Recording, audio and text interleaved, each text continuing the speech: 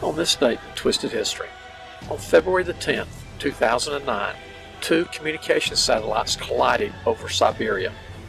The American Iridium 33 was in its assigned lane driving the speed limit when the derelict Russian Cosmos 2251 came barreling over the horizon.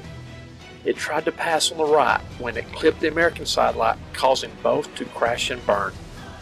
It is believed vodka was involved.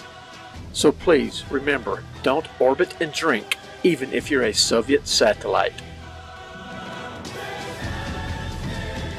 Twisted History is constructed from a space-age polymer that can withstand laughter up to 1.21 gigachuckles.